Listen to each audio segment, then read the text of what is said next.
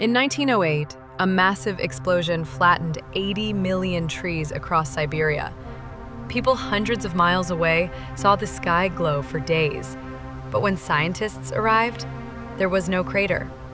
It's called the Tunguska event.